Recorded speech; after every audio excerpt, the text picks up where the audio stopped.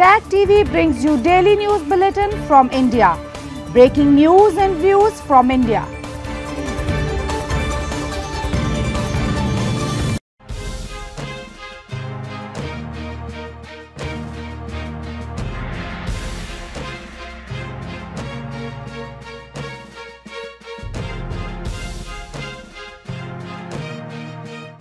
Good evening. Welcome to South Asia Newsline. I'm Shivangi Mishra. Here are the top stories we are tracking for you. UN designates Pakistan-based Abdul Rahman Makki as global terrorist.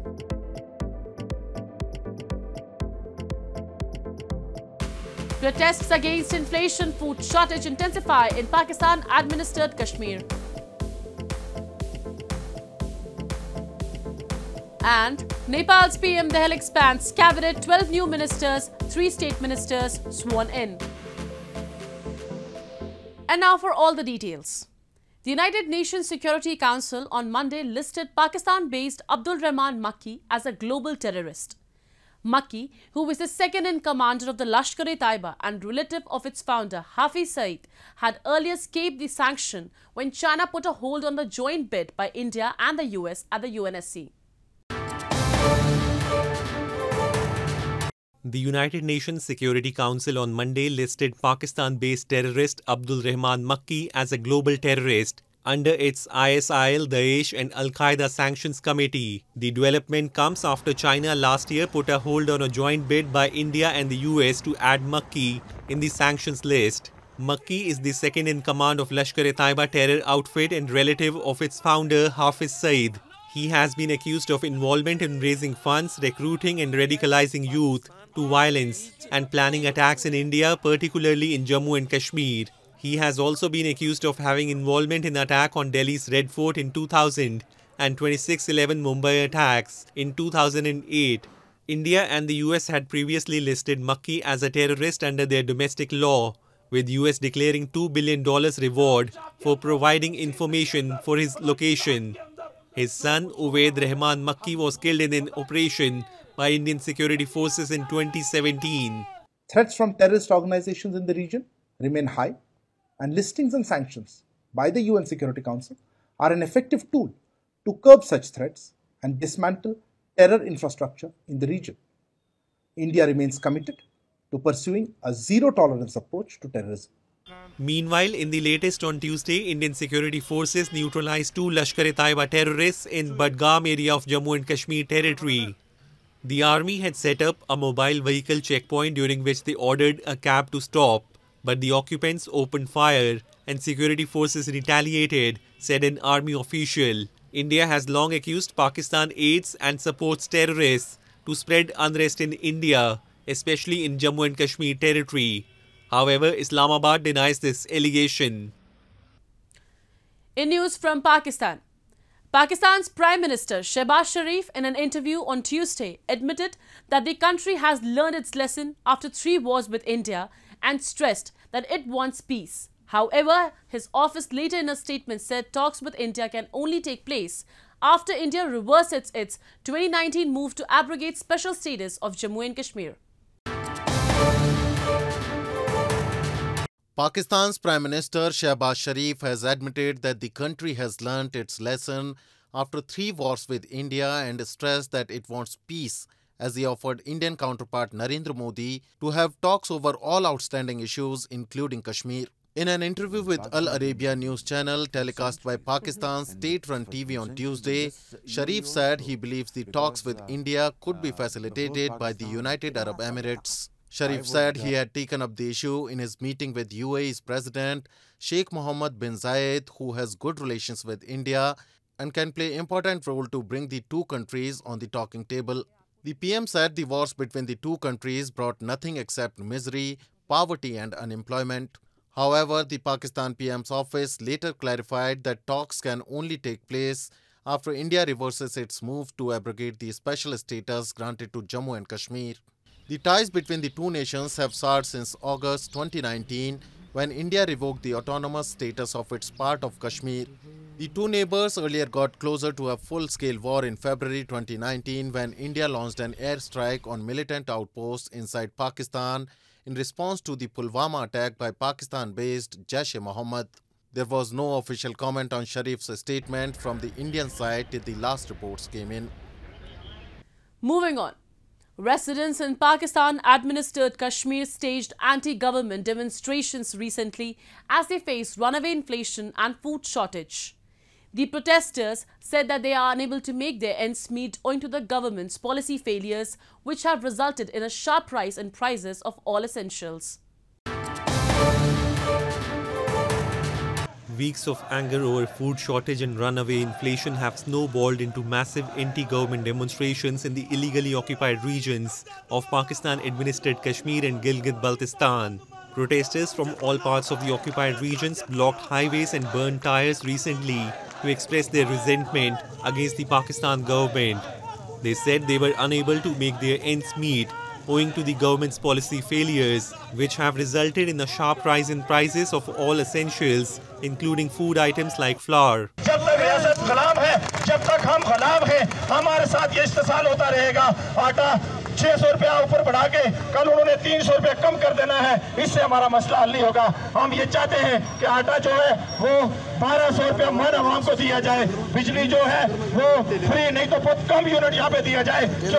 Pakistan is going through an unprecedented economic crisis which has essentially manifested in the form of a sudden wheat crisis.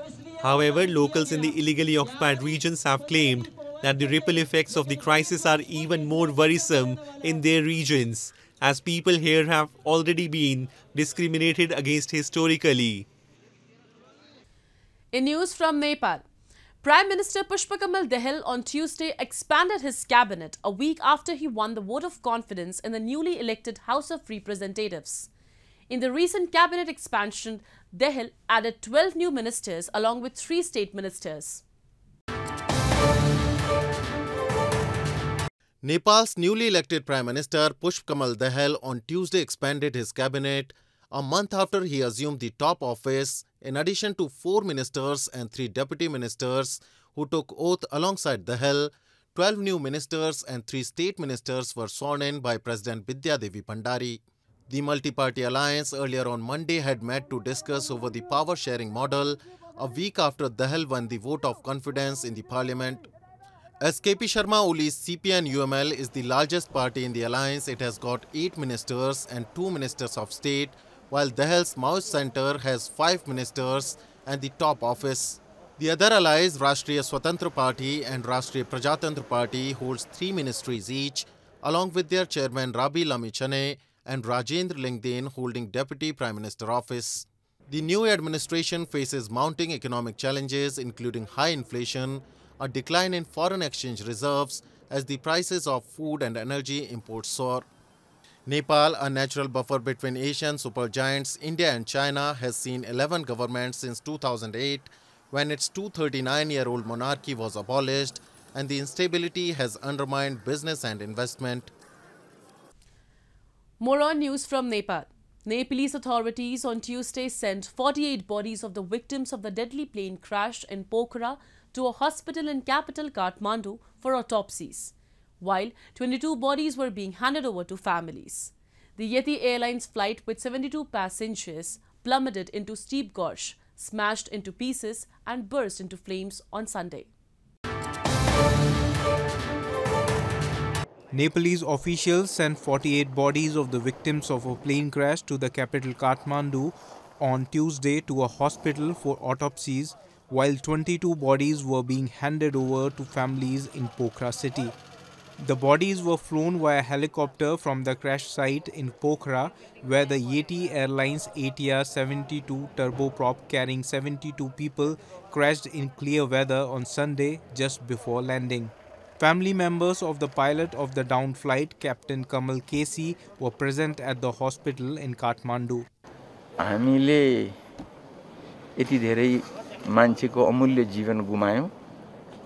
र यो नेपालमा दोहोरिराखेको तेरिराखेको निश्चित अवधिमा आइराखेको र हामी नेपाली र अरू अन्य देशका परिवारजनहरूले आफ्ना प्रिय सदस्यहरूलाई गुमाएको अवस्था छ। यो यो चाहिँ नि अपूरणीय क्षति हो। Meanwhile, searchers rappelled down the 200 meters deep gorge in Nepal's second biggest city on Tuesday to search for two people still unaccounted for. However, difficult terrain and inclement weather hampered the rescue efforts. Nearly 350 people have died since the year 2000 in plane or helicopter crashes in Nepal, home to 8 of the world's 14 highest mountains, including Everest, where sudden weather changes can make for hazardous conditions.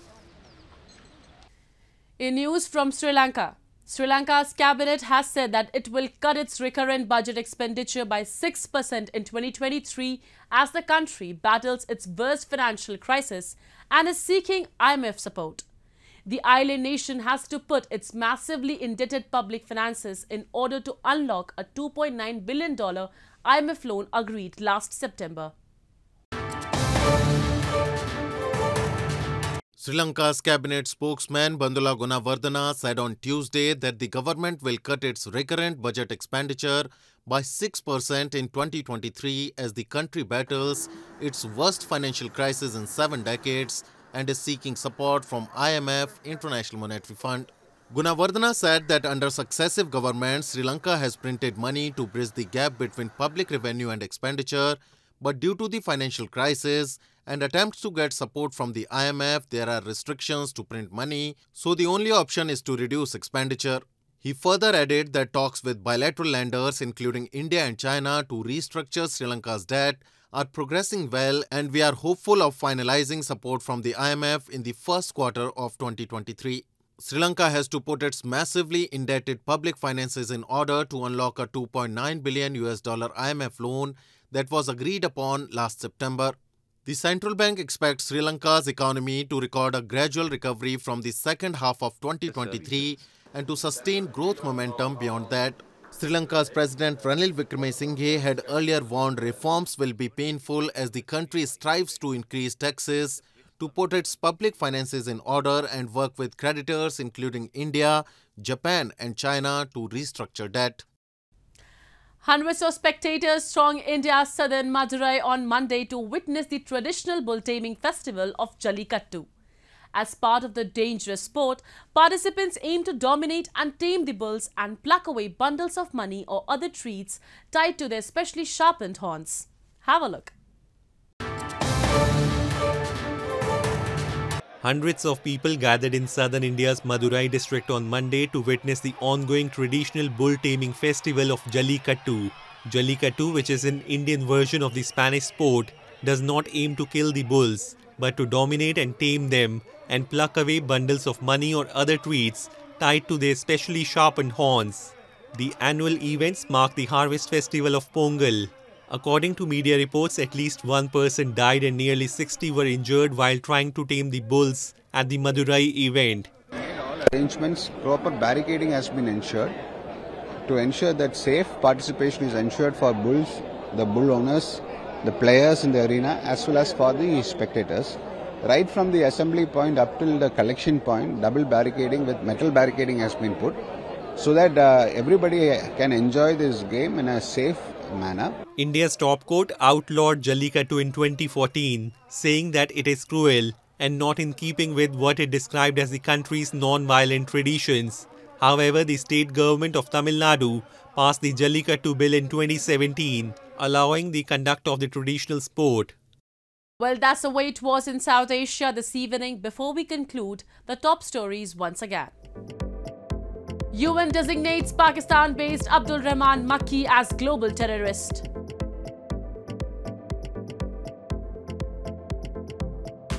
Protests against inflation food shortage intensify in Pakistan-administered Kashmir.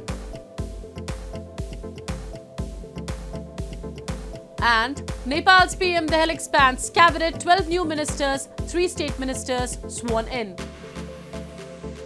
Now, our viewers can watch the show on SouthAsiaNewsline.com.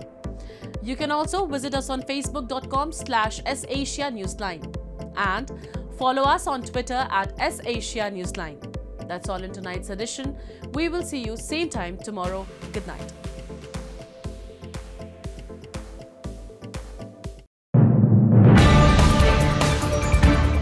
Tag TV brings you daily news bulletin from India. Breaking news and views from India.